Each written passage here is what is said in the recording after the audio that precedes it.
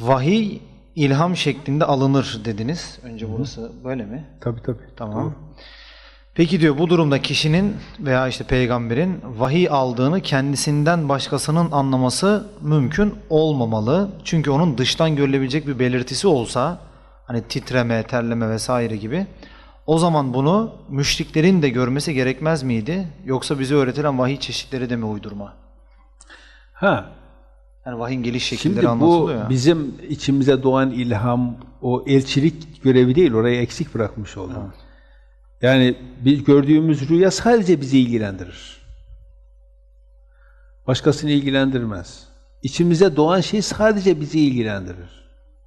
Ama Resul de git bunu falan tarafa, an- falan yere anlat dendiği zaman Resul oluyor. Onun için şeyin bazıları işte Meryem'e de Resul derler, efendim e, Musa'nın annesine de bu meseleyi anlayamadıkları için derler. Meryem e, o gördüğü şeyi gidip başkasına anlatma görevi yok ki. Yani ya, tebliğ edeceği bir şey yok. Şey de öyle. E, Musa'nın annesi de öyle. Tebliğ yok. Birisine anlat dendiği zaman Resul olur. Yani siz bir arkadaşınıza bir şey anlat konuşuyorsunuz. O sizin elçiniz olmaz. Deseniz ki git şu sözü şu adama anlat o zaman elçiniz olur. Tamam mı? Ondan sonra şeyin o vahiy gelirken şekil, şemail, e, terleme onu ben yani kitaplarda bu yazıyor ama vahyin geliş şeklini Kur'an-ı Kerim bize anlatıyor.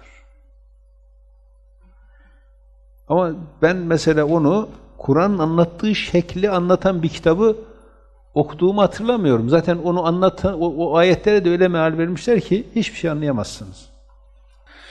26. ayet. Burada diyor ki alimul gaybi fela yuzhiru ala gaybihi ahada. Allah bütün gaybı bilir. Gaybını kimseye açmaz. İlla men irtada min rasul razı olduğu elçi hariç. Şimdi Cebrail getirdiği zaman da Resulullah o gaybı bildiriyor. Biz de işte bu ayetlerden gaybı öğreniyoruz. Peki فَاِنَّهُ يَسْلُكُ مِنْ بَيْنِ يَدَيْهِ وَمِنْ خَلْفِهِ رَسَدًا Şimdi siz anlatabilmek için şey yapayım. Mesela farz edin ki bu Resul. Onun önünden ve arkasından yani tüm çevresine gözcüler diker diyor Allah. Yani Resul'e vahiy geldiği zaman şurada Resul var. Tüm çevrede gözcüler var. Gözcü melekler geliyor. Liyaleme o Resul bilsin ki en kad eblegu risalati rabbihim. O gelen melekler Allah'ın risaletlerini tebliğ etmişlerdir. Yani Allah'ın mesajlarını şeyde yani Allah'ın emirlerini ya da yasaklarını tebliğ etmişlerdir. Allah'ın sözlerini tebliğ etmişlerdir. Bu konuda kesin bir kanaati olsun. Çünkü etrafta tam bir e, koruma şey alınmış, araya şeytanı sokmuyorlar. Çünkü şeytan doğru yolun üstünde oturur ya, melekler çevrede tedbir alıyor, araya şeytanı sokmuyorlar. يَعْلَمَ اَنْ قَدْ اَبْلَوْ رِسَالَاتِ رَبِّهِمْ وَاَحَاطَ بِمَا لَدَيْهِمْ O Resul de onların yanındakilerin tam kavrasın. Araya bir vesvese girmediği için tam olarak kavrasın. Ve ahsa kulle şeyin adede ve her şeyi tek tek sayabilecek duruma gelsin. Yani bir şey olmasın. ka- Anlamada, kavramada bir problem olmasın. Tam tamı tamına e, kuşatmış olsun o bilgileri, içine almış olsun.